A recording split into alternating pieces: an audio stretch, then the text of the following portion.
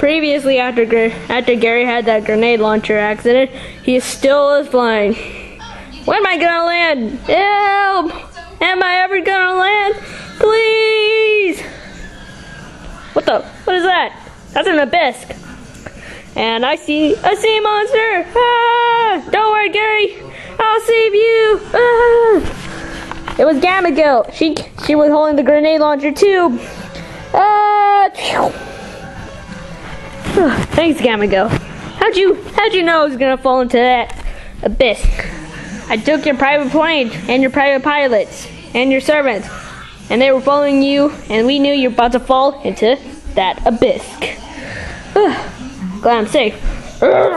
Oh no, that sea monster! It's gonna swim after us. Let me do this. So Gamagill, you already had enough grenade launchers.